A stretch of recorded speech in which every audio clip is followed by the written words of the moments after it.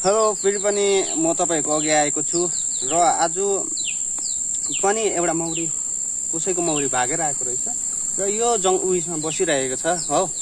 अनि के हो भन्दाखेरि चाहिँ मौरी अलिकति कम्ती छ। त्यस्तो कम्ती पनि होइन ठिकैको काम गर्न सक्ने नै छ।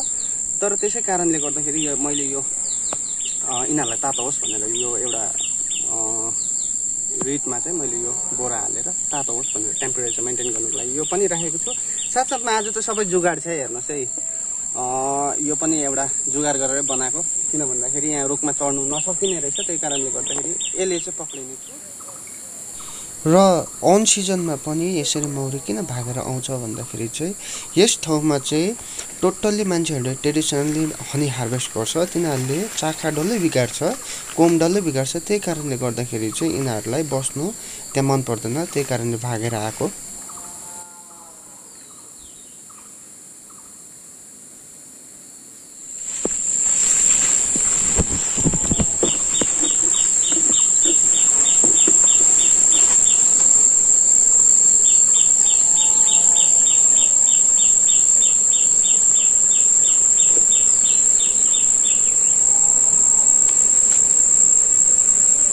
एकैतालमा मजाले सोरिएर आएको छ मौरी वर्षक क्विन पनि पस्यो जस्तो लाग्दैछ मलाई। यिनीहरूले अब चाल पायो रानी हाम्रो रानी हराएछ भनेर हो।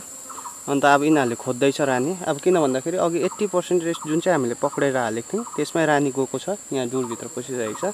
अब यिनीहरूले आफै खोजेर यिनीहरू यो भित्र पस्छ डोरमा आफै पस्छ। यहाँ हेर्नुहोस् अघि शान्ति थियो अहिले यिनीहरू पुरा उड्दैछ। पुरा खोज्दैछ।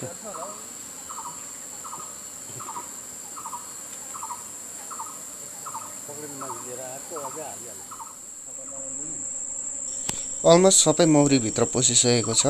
अब यसलाई हामी यसको स्ट्यान्डमा राख्नेछौँ।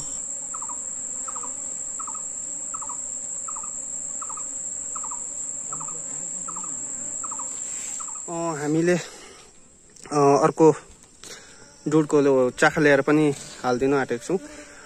यसमा बच्चा पनि छ सँगसँगै यिनीहरूले कुटहरू पनि पुरा ल्याएको छ यी। है। यसले गर्दा चाहिँ के सजिलो हुन्छ भन्दाखेरि यिनीहरूलाई चाहिँ यहाँनिर जहिले पनि म तपाईँहरूलाई रिपिट गर्ने गर्छु आफ्नो बच्चा छोडेर मौरीले कहिले पनि भाग्दैन यो अर्काकै भए पनि अर्काकै डुडको ल्याएर भए पनि यिनीहरूलाई दिएपछि यिनीहरूले आफ्नै सम्झेर हुर्काउँछ अनि यिनीहरूलाई कोम बनाइबस्नु सजिलो पर्छ यो हालिदियो भने चाहिँ म यो हालिदिने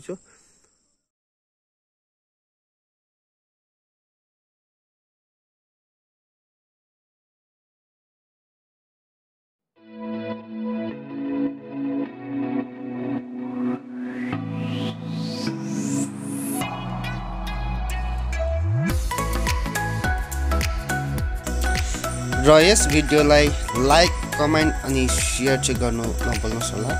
र तपाईँहरूलाई के के कन्टेन्टमा भिडियोहरू चाहिएको छ तपाईँहरूले कमेन्ट गरेर मलाई भन्न सक्नुहुनेछ।